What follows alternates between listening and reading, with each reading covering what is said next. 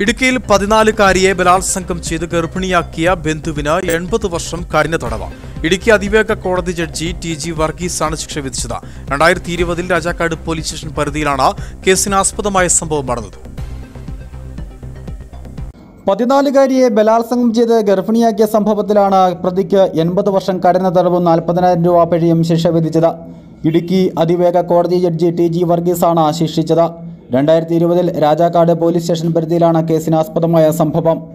വിവാഹിതനായ പ്രതി വീട്ടിൽ ആളൊഴിച്ച സമയത്താണ് പെൺകുട്ടിയെ പീഡിപ്പിക്കുന്നത്. ഗർഭിണിയായ പെൺകുട്ടി പ്രസവിച്ചപ്പോഴാണ് സംഭവം പുറത്താകുന്നത്. പെൺകുട്ടിയുടെ പുനരധിവാസത്തിനായി ജില്ലാ ലീഗൽ സർവീസ് അതോറിറ്റിയോട് ഒരു ലക്ഷം രൂപ നൽകണമെന്നും കോടതി നിർദ്ദേശിച്ചു. വിവിധ വകുപ്പുകളിൽ ലഭിച്ച ഉയർന്ന ശിക്ഷയായ ഇരുപത് വർഷം പ്രതി അനുഭവിച്ചാൽ മതിയാകും. ഇടുക്കി വിഷൻ ചെറുതോണി.